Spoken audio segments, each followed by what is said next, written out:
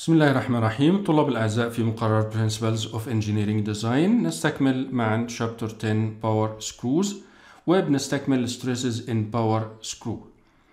النوع اللي بعد كده من ال stress اللي هو ال torsional shear stress بما ان بأثر ب torque على ال thread هنا أو على القلاووز فبالتالي ال torque بيسبب torsional stress tau قيمته بتساوي 16 في ال torque على pi في ال d core تكعيب. When the screw is subjected to both direct stress and torsional shear stress يبقى في عندي نوعين من ال stress بيأثروا على ال screw.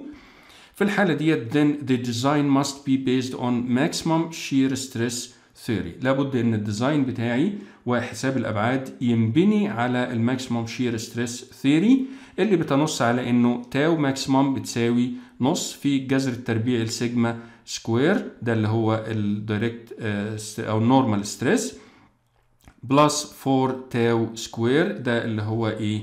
ال torsional أو ال shear stress حيث سيجما اللي هو ال stress due to load W وال tau اللي هو ال torsional shear stress وال T اللي هي بتمثل ال torque. آه النوع اللي بعد كده من ال stress اللي هو ال shear stress due to axial load ده اللي هو بيحصل على جذور الأسنان القص اللي بيحصل على جذور الأسنان.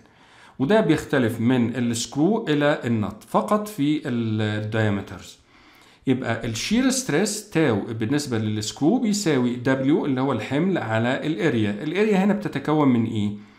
ال area هنا اللي هي pi في ال d core ضرب t اللي هو ارتفاع السنة ضرب n اللي هو ال number of teeth in أو number of threads in engagement في حالة التعشيق.